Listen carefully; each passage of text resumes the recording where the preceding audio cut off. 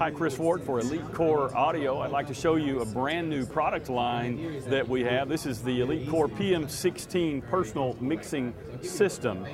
Uh, the flagship item here is the PM16 personal mixer.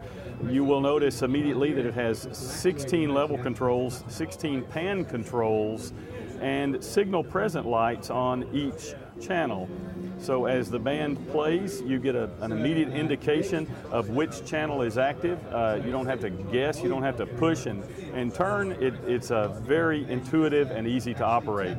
A couple of features that you notice immediately on the front panel. It's an all steel housing, it's fully shielded. There's an ambient microphone built in right here. There's an omnidirectional condenser ambient microphone with a control here. Built in single knob compression it uh, maxes out at about a two to one compression rate for you there and three band EQ, low, mid, and high, along with a set of stereo LEDs and a master volume. Now the master volume controls the output to a very robust and powerful headphone amp as well as stereo line outs. You've got a left mono or uh, left right stereo outputs, and you see these uh, very, very rugged uh, Neutrik Ethercon network connections for in and out. We'll notice here one of the most exciting things about this product is it is made in the USA in a tremendous factory. Now, the PM16 is driven by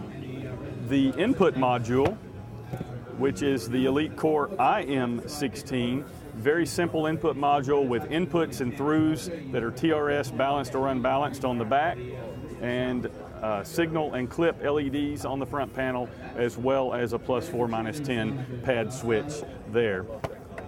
Out of the input module, we go to a distribution module. This is the DM8. It's a powered Ethernet hub with one input eight outputs, providing adequate power to drive the amps in up to eight of these uh, mixers simultaneously. They are stackable, cascadable for additional larger systems. It's the Elite Core PM16 personal mixing system right here new from NAMM 2011.